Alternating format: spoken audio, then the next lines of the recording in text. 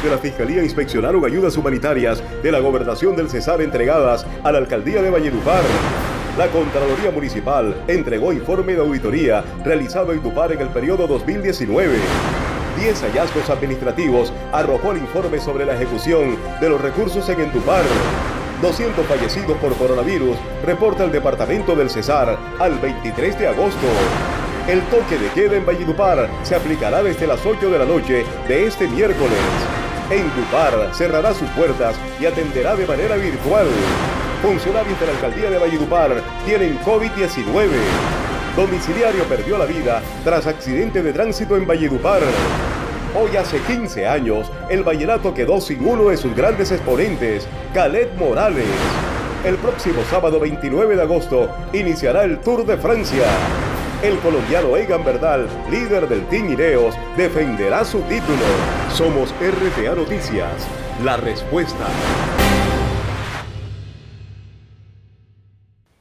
Hola, ¿qué tal? Buenas noches. Bienvenidos a las informaciones en RTA Noticias. El Colegio Médico del Cesar y Valledupar ha pedido a las autoridades de salud de este departamento y a cada uno de los municipios que se extremen las medidas, los controles en cuanto tiene que ver con la COVID-19 para evitar su propagación. Lo que han pedido es que durante 15 días se haga un aislamiento obligatorio en todo el departamento porque la situación está bastante complicada. Ellos aseguran que la ocupación de camas UCI de más del 70% lo que ha generado la alerta roja en el departamento y los casos numerosos que se han registrado en los últimos 45 días ponen en una situación crítica a nuestro departamento. Por eso han pedido que se tomen medidas de salud estrictas y que el aislamiento sea severo en todo el departamento del Cesar, incluso en municipio del Cesar y del Magdalena. Aquí hay otras informaciones de hoy, tienen que ver esas informaciones con la visita que hizo una comisión de la Fiscalía a la alcaldía de Valledupar. Bienvenidos a las informaciones. Funcionarios del CTI de la Fiscalía realizaron este lunes una visita al Palacio Municipal de Valledupar para revisar un paquete de ayudas humanitarias entregadas por la Gobernación del Cesar a la alcaldía de Valledupar durante la pandemia. Los investigadores hacen parte del grupo de delitos contra la administración pública que investigan la contratación de COVID-19 del gobierno departamental. Karen Estrada de la Oficina de Gestión Social de Valledupar dijo a RTA Noticias que la visita no estaba relacionada con la contratación de las ayudas humanitarias ejecutadas por la alcaldía municipal. RTA Noticias conoció que investigan sobre la entrega de las ayudas de la gobernación del Cesar a la alcaldía de Valledupar y por ello se reunieron con el secretario de Gobierno municipal Luis Galvis. Nosotros hemos realizado un trabajo de entrega de ayudas humanitarias de una manera limpia, dijo la funcionaria. El gobierno municipal de Valledupar ha decidido que esta semana el toque de queda comenzará en la noche del próximo miércoles. Los detalles de esta información con Andrea Rodríguez. Buenas noches. Waldo, muy buenas noches. Es un gusto estar de regreso en la pantalla de RTA Noticias para comenzar con esta semana informativa. Vamos con las noticias. La alcaldía de Valledupar implementará el toque de queda nocturno a partir de este miércoles. El gobierno municipal de Mello Castro González determinó que el toque de queda que se aplica semanalmente en Valledupar comenzará a regir desde el miércoles de esta semana. La oficina de prensa municipal confirmó a RTA Noticias que el toque de queda se inicia el miércoles a las 8 de la noche y termina el jueves a las 4 de la mañana. El mismo horario se aplicará para los días jueves y viernes de esta semana. El sábado, el toque de queda se inicia a las 6 de la tarde y termina el domingo a las 4 de la mañana. El domingo inicia a las 6 de la tarde y termina el lunes a las 4 de la mañana. Durante el fin de semana se aplicará la ley seca en los mismos horarios. La policía realizará controles más estrictos al tema de pico y cédula para evitar que personas que no estén autorizadas para salir se encuentren en las calles. En el departamento del Cesar al corte del 23 de agosto se registran 200 muertes por coronavirus. La Secretaría de Salud Departamental reportó que al 23 de agosto en el Cesar han fallecido 200 personas por coronavirus desde que se inició la pandemia. Las cifras al 23 de agosto publicadas por la Sectorial de Salud Departamental indican que de los 200 casos, Valledupar aporta 130, Aguachica 21 y las aguas de Berico 10 muertos. Bosconia reporta siete fallecidos y Agustín Codazzi seis. En el Cesar se han registrado al 23 de agosto 7.889 casos positivos de COVID-19, de los cuales 3.730 se han recuperado, mientras que 59 están en UCI y 35 hospitalizados. Según la Secretaría Departamental de Salud, el Cesar se mantiene en alerta roja, porque actualmente la ocupación de camas UCI está en un 71.3%. El segundo vicepresidente del Consejo de Valledupar entró en aislamiento obligatorio al dar positivo para coronavirus.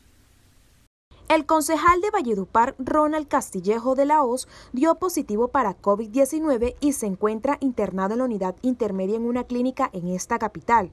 Castillejo estuvo en su casa aislado al conocer los resultados del examen, pero poco a poco comenzó a sentir fuertes síntomas, por lo que decidió trasladarse a su EPS, de donde fue remitido a la clínica pediátrica donde permanece en observación.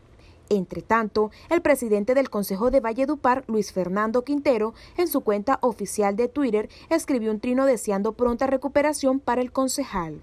Nuestro amigo y colega Ronald Castillejo le deseamos una pronta recuperación y mucha fuerza. Espero verlo pronto para seguir debatiendo y aportándole a la ciudad, escribió Luis Fernando Quintero.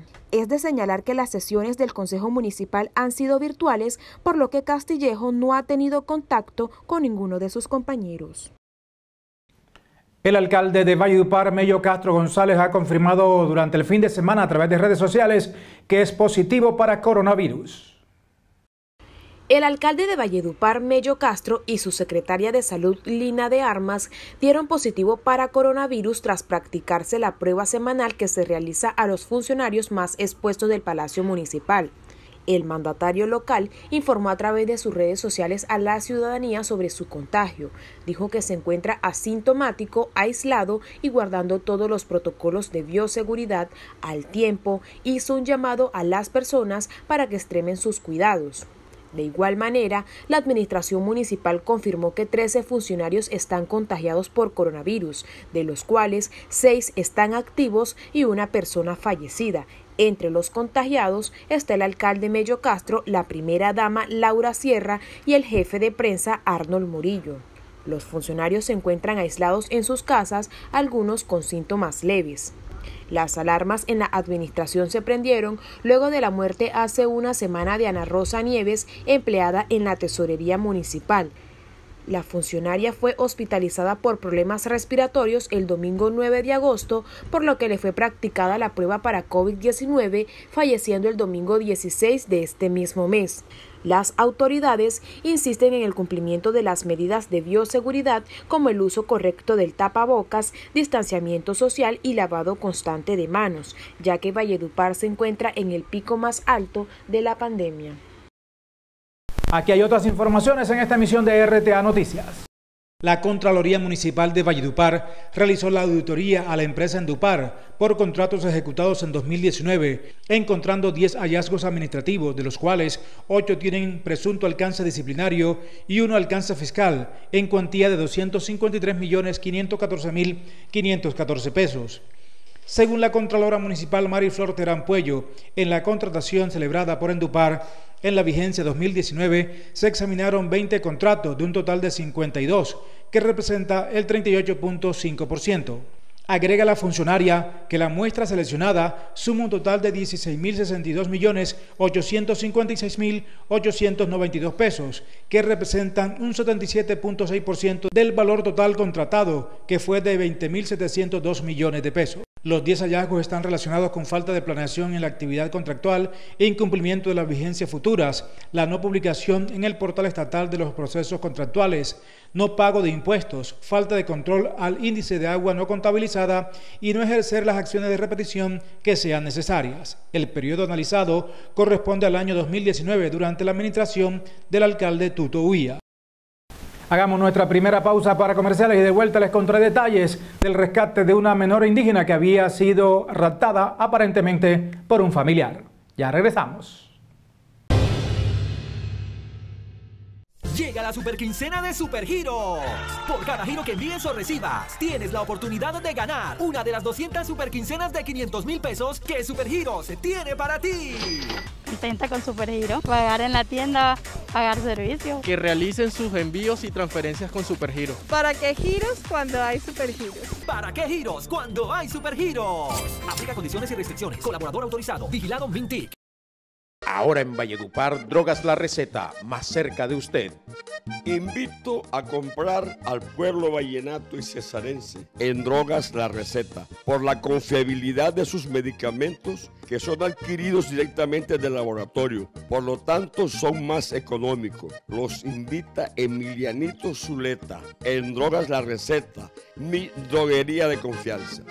Drogas La Receta, la que más barato vende. Compruébelo. Estimado comerciante, la Cámara de Comercio de Valledupar para el Valle del Río Cesar te invita formalmente a mantener vigente tu matrícula mercantil.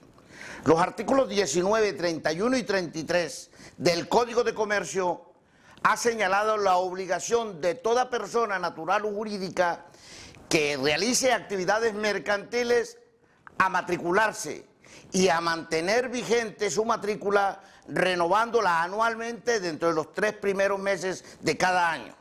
Para esta oportunidad, el Gobierno Nacional expidió el decreto 434 del 2020 de caras a la pandemia y amplió el término de renovación hasta el 3 de julio del presente año.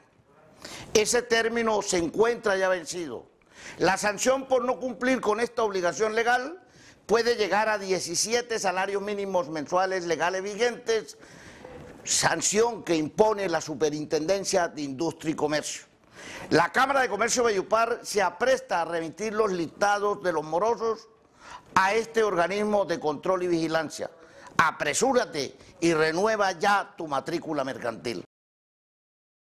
Seguir trabajando por ti es darte la opción de realizar tus trámites sin salir de casa para esto, Electricaribe cuenta con una oficina virtual y un chat en la página web electricaribe.co. Además, puedes descargar la aplicación móvil Electricaribe o usar nuestra oficina telefónica marcando 115 desde celulares o fijos. Cuidémonos, quédate en casa. Electricaribe somos todos. Vamos a tener presencia institucional todo este mes con la Secretaría de Gobierno, Secretaría de Salud y Secretaría de Tránsito. Necesitamos que los comerciantes se comprometan, porque no vamos a exponer a la ciudadanía a que se contagie aquí en el mercado público. Es por eso que hacemos un llamado a la concientización y al compromiso ciudadano que tenemos que tener todo, que si las cifras no mejoran, nos tocará tomar medidas más drásticas en el mercado público de Valledupar. Llega la super quincena de Supergiros. Por cada giro que envíes o recibas, tienes la oportunidad de ganar una de las 200 super quincenas de 500 mil pesos que Supergiros tiene para ti. ¿Para qué giros cuando hay Supergiros? Aplica condiciones y restricciones. Colaborador autorizado. Vigilado Mintic. Doñita, esos frenos le quedaron feos. Será su abuela. No se ven muy Esto no frena. ¿Qué, no frena?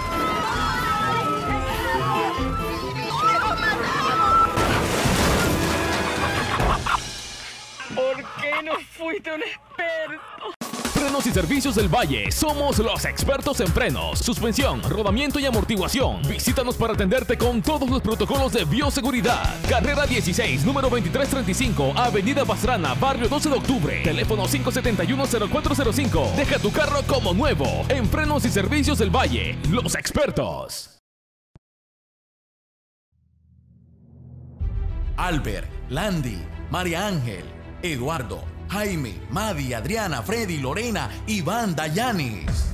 Todos ellos y muchos más hacen parte del equipo de héroes de Supermercados Mi Futuro. Con su valentía y esfuerzo, abastecen a cientos de personas diariamente a pesar de las adversidades. Ellos son el motor que lleva la esperanza de un mejor mañana. Hoy, Valle Dupar y Supermercados Mi Futuro les decimos gracias. Muchas gracias.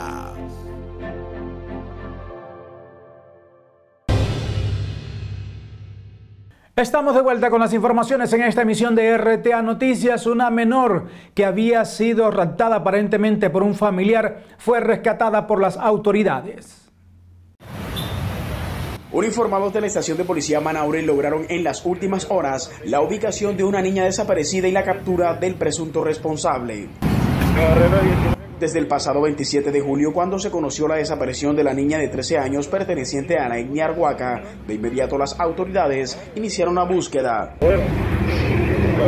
Es así como en horas de la madrugada del domingo, unidades adscritas a la estación de policía Manaure lograron llegar hasta una vivienda ubicada en la calle 2F con carrera 7 del barrio El Centro de esta localidad, donde fue ubicada la menor en compañía de un adulto, el cual fue capturado y trasladado a la ciudad de Valledupar. La menor fue llevada a un centro asistencial para el restablecimiento de sus derechos, verificación de su estado de salud físico y mental, con el fin de establecer si fue víctima o no de una agresión. El detenido, quien fue identificado como Liborio Rafael Mejía Arias, de 34 años de edad, natural de Pueblo Bello, fue puesto a disposición de la Fiscalía Uni en turno como presunto responsable del delito de secuestro. Hoy se conmemoran 15 años del trágico accidente que cobró la vida a Calet Morales en carreteras del departamento del Magdalena entre Plato y el municipio de Bosconia, aquí en el departamento del Cesar. Su padre estuvo hoy en solitario en el cementerio Jardines del Exiomo, en donde le rindió un sentido homenaje. Bajo esta soledad, aquí estoy, como todos los años, hijo. Aquí estoy trayendo esta ofrenda floral y que sientas mi presencia. Tus seguidores te quieren, Caleb, como nosotros. Caleb será por siempre, hijo. Aquí estoy, en este presente, aún siendo pasado.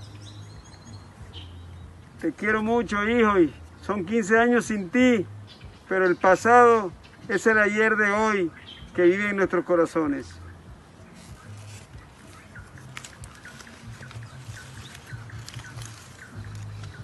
Y a esta hora la comunicación es con Keiner Morales, hermano de Khaled Morales y quien además viajaba en el vehículo el día del accidente. Hola Keiner, buenas noches. ¿Cómo se puede conmemorar, qué se puede recordar de Khaled Morales en estos 15 años? Bienvenido. Bueno, hablar de Khaled Morales hoy 24 de agosto es recordar a ese ícono, a esa persona que en su momento vino al mundo, hizo historia y dejó un legado incalculable para muchas personas, un, un legado inmenso en su forma de componer, su forma de cantar, eh, su estilo para producir, bueno, hablar de un sinnúmero de cosas que yo sé que muchos de sus seguidores, al igual que nosotros, sus familiares, recordamos. Hablar de Khaled hoy es recordar eh, ese motivo de inspiración en porque hoy estoy cantando, es recordar el compromiso que tengo con la dinastía Morales, que tenemos Kander y Keiner, los K. Morales, con, con esta dinastía, de un legado de nuestro padre Miguel, que son muchos éxitos que lleva en, su carrera musical. Entonces hablar de Khaled hoy es recordar ese compromiso que nos hicimos al ser los herederos del legado de los Morales. Hablar de Khaled es recordar el legado personal y familiar que nos dejó, que fue una unión familiar eh, llena en amor, en respeto, en solidaridad y muchas cosas buenas. Hablar de Khaled es un número de cosas que me quedo sin palabras para expresar la alegría y el sentimiento que me da el que Él no esté con nosotros para que disfrute de todo el amor que sus seguidores hoy tienen hacia Él. Las declaraciones de Keiner Morales aquí en RTA Noticias. Muchas gracias por su participación. Continúo con Andrea Rodríguez. Un mensajero perdió la vida en Valledupar en un accidente de tránsito. Llenos de tristeza están los familiares, amigos y compañeros de trabajo del mensajero José Manuel Saudmet Fernández, de 46 años de edad, quien perdió la vida la mañana de este domingo mientras realizaba un servicio. El motocarro que conducía chocó contra la glorieta ubicada en inmediaciones al batallón de la décima brigada blindada del ejército en la avenida Los Militares de Valledupar. El mensajero supuestamente perdió el control y el motocarro donde se movilizaba le cayó encima, lo que le ocasionó graves lesiones que originaron su muerte. El domiciliario fue auxiliado y remitido en una ambulancia hasta la Clínica Integral de Emergencias Laura Daniela, donde falleció a pesar de las labores de reanimación del personal médico. José Manuel Saumed Fernández laboraba en la empresa de domicilios Superboy, donde hoy lamentan su inesperada partida. La empresa Endupar ha decidido cerrar sus puertas. ¿A qué se debe esta información? Enseguida de comerciales se las cuento. Estimado comerciante, la Cámara de Comercio de Valledupar para el Valle del Río Cesar te invita formalmente a mantener vigente tu matrícula mercantil.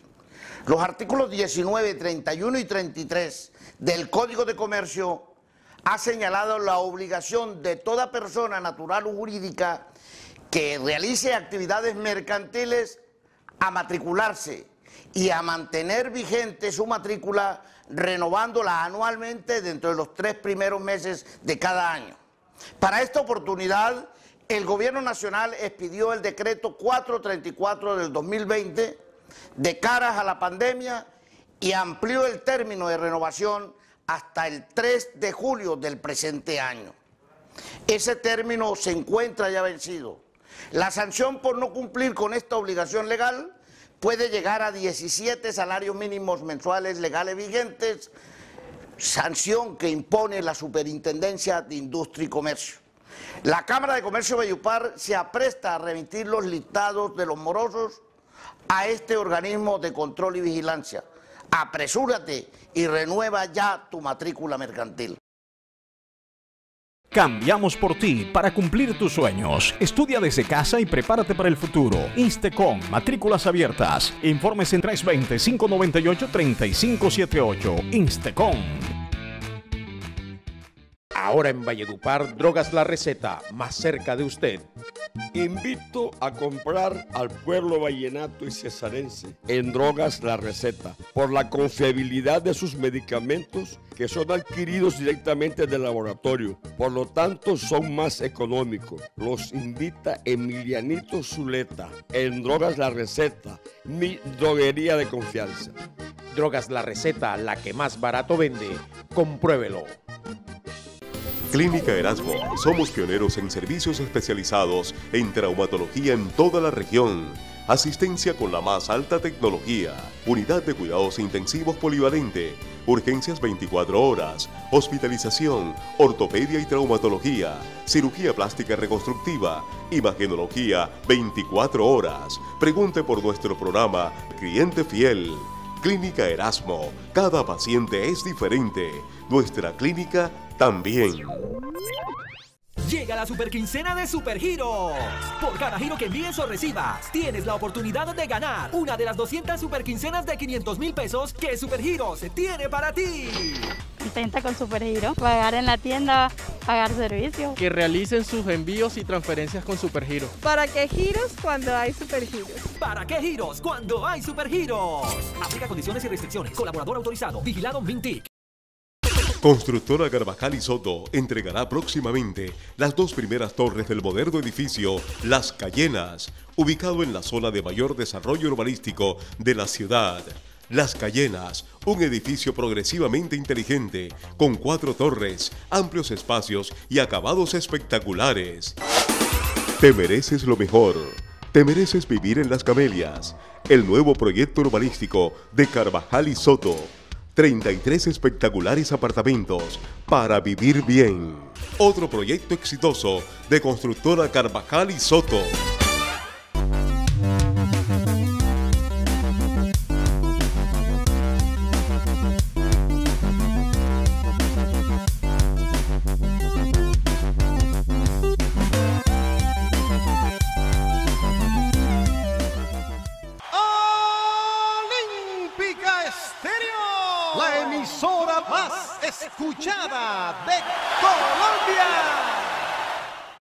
Becerril estamos en el canal 4. RTA Noticias. Es la respuesta. La empresa Emdupar atenderá al público solo de manera virtual para evitar la aglomeración de personas en sus puntos de atención. Debido al aumento de casos de la COVID-19 en Valledupar, el gerente de la empresa de servicios públicos de Valledupar, Endupar, Rafael Maestre, tomó la decisión de cerrar las puertas al público y atender de forma virtual. Endupar ofrece a los usuarios la utilización de su canal de información www.endupar.gov.co, donde podrán hacer pagos de facturas ingresando a la opción PSE. En caso que al usuario no le llegue la factura, la puede solicitar al correo pqr.endupar.gov.co o al chat disponible en la página web oficial de Endupar. Las líneas de atención que tiene habilitada la empresa para reportar un daño, rebosamiento de pozo de inspección o dificultad en el servicio es la línea telefónica 116 o al celular 310-271-4278, donde solo Endupar atiende por WhatsApp para reportar problemas en acueducto o alcantarillado. Un hombre fue enviado a prisión tras ser capturado por la presunta comisión del delito de extorsión. En un operativo contra la extorsión en el municipio de El Paso Cesar, fue capturado en flagrancia Neider José Ortega Cataño, de 29 años de edad, momento en que esperaba el pago de una exigencia económica. Este sujeto sería el responsable de cuatro hechos de extorsión denunciados por comerciantes y empleados en los municipios de El Paso, Astrea y La Gloria. Ha sido capturado Neider José Ortega Castaño, de 29 años, momentos en que esperaba el pago de una exigencia económica. Ortega Cataño abordaba a sus víctimas mediante llamadas telefónicas y exigía sumas que iban desde los 50 mil pesos para no atentar contra el extorsionado o su familia. Este sujeto sería responsable de cuatro hechos de extorsión que han sido denunciados previamente. Venía afectando a los comerciantes y empleados en los municipios del Paso, La Estrella y La Gloria. Esta situación fue puesta en conocimiento de la Policía Nacional, lo que dio inicio a la investigación que hoy tiene tras las rejas a Neider Ortega Cataño. Esta es la información relacionada con un presunto violador aquí en el departamento del Cesar. Un proceso penal enfrenta el reciclador Néstor de Jesús Domínguez Rueda, de 41 años, luego de que lo denunciaran porque al parecer le cometió actos sexuales a una niña de 6 años. El hecho ocurrió en la invasión Los Guasimales de Valledupar. El hombre fue detenido por unidades de la Policía de Infancia y Adolescencia, quienes lo dejaron a disposición de la Fiscalía 14 Seccional Unidad de Reacción Inmediata URI, la cual le imputó cargos ante un juzgado de control de garantías de la ciudad de Valledupar.